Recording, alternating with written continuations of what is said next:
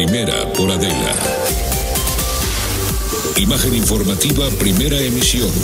Con Adela Micha, la periodista más reconocida de México. Estamos a unas horas solamente de que llegue el Papa, el Papa Francisco, a México. Eh, yo tengo en la línea telefónica Bernardo Barranco, eh, sociólogo de religiones, experto en, en estos temas. Bernardo, ¿cómo estás? Adela, buenos días. Oye, qué interesante charla tuvimos ayer. Yo te quiero agradecer muchísimo. Este, es una, una conversación que estaremos transmitiendo esta noche de jueves en la entrevista por Adela, pero ahora que, que estábamos en la edición y que estábamos haciendo los, eh, los adelantos y, y, los promocionales, de veras estábamos todos interesadísimos en el tema. Muchas gracias, Bernardo. No, al contrario, Adela, yo creo que es muy interesante pues presenciar y, y la verdad que eh, veo una enorme paradoja, porque ayer eh, conversamos mucho, tú provocaste la reflexión en torno a paradojas, y una de ellas es que probablemente por primera vez llega un papa eh, reformador ante un país conservador, fíjate nada más lo que son las cosas, cuando había sido al revés, un papa con eh, aires progresistas en un país empantanado, y esto es lo que me parece fascinante, y ver si un personaje de la talla eh, de Francisco logra sacudirnos, logra sacudir el, el, momento de marasmo que muchas veces percibimos los mexicanos con nuestra propia circunstancia. Ojalá, ¿no? Que es un poco también lo que hablábamos ayer, que han habido siete visitas, hay una gran expectación, hay mucha devoción y, se, se, eh, y los fieles se, se vuelcan. Yo me acuerdo con Juan Pablo II, pero que pues pasaba la visita y ya no pasaba nada, ¿no? Sí, se resbalaban los mensajes, uh -huh. se caía el encanto y cada quien seguía lo, lo suyo, incluso la, los mensajes resbalaban incluso a la propia iglesia mexicana y como si no pasara nada, yo creo que podría ser interesante porque probablemente el momento, la circunstancia que estamos viviendo como país y el momento que está viviendo el propio Francisco puedan ser un, un espacio de encuentro muy muy virtuoso, digamos, para, para nuestra realidad. Ahora, llega también a, a, nuestro país en un momento, como ha pasado en el mundo, pero en México, eh, pues en, con una iglesia, lo hablábamos ayer, dividida y eh, ha, ha, habido pues un, un decaimiento en cuanto al número de fieles, ¿no? Al catolicismo. Sí, cuando llegó el Papa por primera vez en 79, el número de católicos casi era absoluto, 96.6.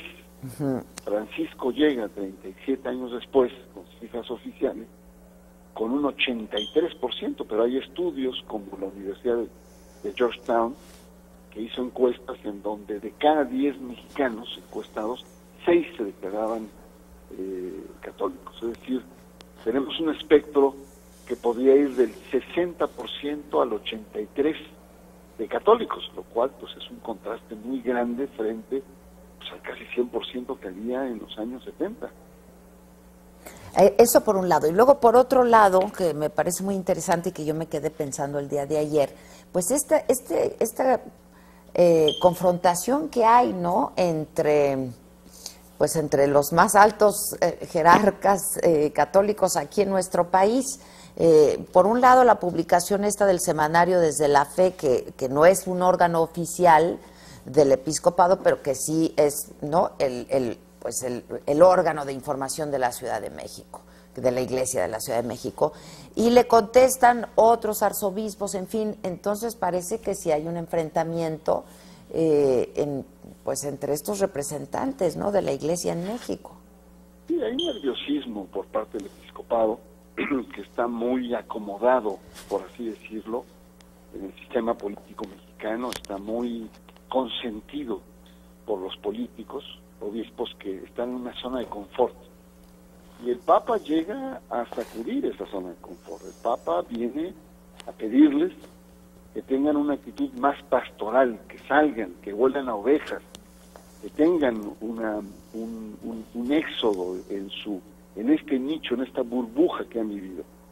Y ahí hay posturas eh, diferentes. Unos obispos insisten en que el Papa va a venir a hablar de misericordia y va a venir a hablar de paz y va a venir a hablar de a dar esperanza, no van a resolver los problemas de los mexicanos los discursos del Papa. Y otros obispos, incluidos eh, la Arquidiócesis de México, pero yo incluiría a San Cristóbal eh, de las Casas, a Felipe Arismendi, al obispo de Cuernavaca, al obispo de, de Monterrey, que quieren que el Papa del país. Sí. No quieren una visita color de rosa, no quieren una visita tersa de protocolos. Quieren una visita de intercambios valientes, abiertos, maduros entre la realidad mexicana y los, los principios o los postulados que va a traer Francia. Oye, ¿cómo lees tú? Finalmente te pregunto, Bernardo, sé que eh, eh, has estado ocupadísimo, pero ¿cómo lees tú esta publicación en el proceso, en el semanario proceso que tiene que ver con la boda o no boda, o si boda de, de, la primera dama, ahora Angélica Rivera, eh, con, eh, con su, su, primer esposo? Eh, porque pues podría parecer que es un, golpe no al presidente, y sin embargo, pues ahí también hay, hay un golpe fuerte al cardenal, ¿no? Ernesto Rivera. Yo, creo que el presidente finalmente, pues, ¿qué? Él le dijeron, él hizo lo que le dijeron que hiciera, ¿no? La iglesia, pues. El presidente se puede sentir agraviado, igual que igual que Angélica Rivera. Ajá. Se escapa a, a, ellos.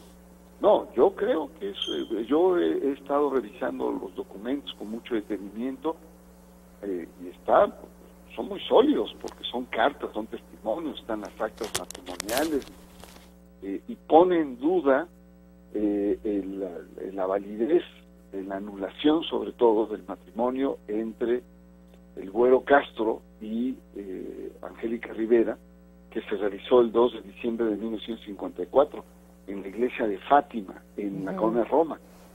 Y em, después hubo otra boda más celebrativa, digamos, una especie de paraliturgia, y esto llevó a que el Tribunal Eclesiástico de la Arquidiócesis hiciera una, un documento en donde eh, invalidaba eh, este matrimonio que le permitió a su vez a Angélica Rivera después casarse también por la iglesia con el entonces gobernador de estado, hoy presidente Peña Nieto. Entonces, aquí el problema es eh, cómo la jerarquía se congratula con la clase política, eh, en estas especies de favores, en, esta actitud eh, a veces servil de intercambios, tanto de la clase política como de la propia eh, clase clerical.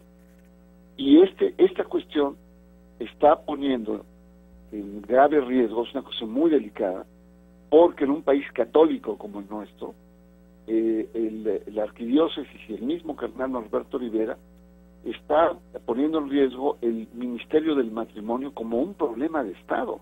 Así está el tamaño de, la cuestión, porque si resulta que es que fue inválido, que no es inválido, al contrario, pues resulta que el, el matrimonio que no debió haber existido es el que realizó el presidente de la República. En un país católico como este, pues sí, es, es una cosa a preocupar y es algo que sobre todo atañe a la estructura, esta eh, estructura de, de, servilidad por parte de actores religiosos. Y es, es serio. Ahora, no solamente es el, eh, la cuestión del, del presidente, la actual pareja presidencial. Los documentos muestran que también se le notificó al Papa por parte del padre Salinas, el actor, digamos, el sujeto de toda esta trama. Por lo tanto, también el Papa eh, eh, entra en una franja de vulnerabilidad, porque él sabe del tema, tiene que pronunciarse, y es un tema delicado, es una cuestión de Estado, es algo... pero pareciera que vendría de, pues, parte de esta crisis y de, este enfrentamiento que hay en la Iglesia, ¿no? Los opositores del cardenal, pues. Esa es una hipótesis muy, muy, eh, digamos, válida, porque el cardenal está a poco más de un año de presentar su renuncia, y por lo tanto pues ha despertado pues una serie de ambiciones de muchos actores que quisieran eh, beneficiarse en un reacomodo importante que va a sufrir la, vida de la iglesia y por lo tanto un golpe como este asegura que eh, el, el Papa no acepte o no prorrogue un poco más de tiempo esta transición en la Arquidiócesis de México. Claro. Y entonces, bueno, pues más bien para muchos está interpretado como un duro golpe interno, como fuego amigo al interior de la iglesia. Está interesantísimo, interesantísimo lo que conversamos el día de ayer. Yo te agradezco como siempre mucho. ¿Fuiste a tomar ceniza ayer? ¿Perdón? Que si fuiste a tomar ceniza ayer por el inicio de la cuaresma.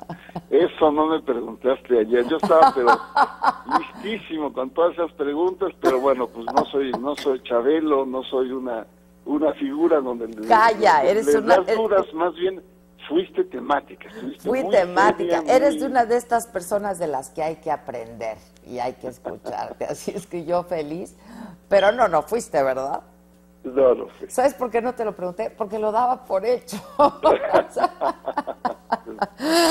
ya luego te platico mi teoría. Te mando un beso, un abrazo y la invitación al público a que nos acompañe esta noche. Por ahí de la medianoche la entrevista es con Bernardo Barranco. De verdad, esto que me decías ayer, Dan Brown, el, autor, ¿no? De, de, estas novelas Ángeles y Demonios, etcétera, se queda corto, ¿eh? Sí, sí, sí, son, Son, pasajes casi dignos de Walt Disney como sí, sí, sí, sí, sí. en la iglesia. De verdad que sí, Dan Brown es Walt Disney comparado con lo que nos platicaste.